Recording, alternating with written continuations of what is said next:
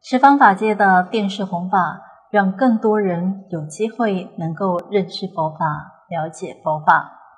十方法界弘法卫星秉持着传播正法、利益群生的理念，作为一个弘扬佛法的平台，希望有更多人借此机会认识佛法，学习佛陀慈悲精神，修持菩提圣道。原始法师也感谢十方法界为弘扬佛法的付出。啊，那么非常感谢我们十方法界弘法卫星啊这个平台。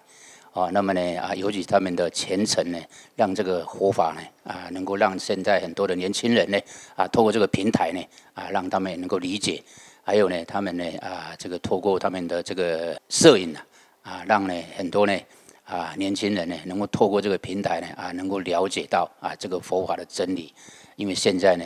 年轻人啊，这个学佛的呢越来越少，因为呢资讯太丰富，资讯太丰富啊，所以啊这个十方。法界弘法卫星呢，也算是一个平台。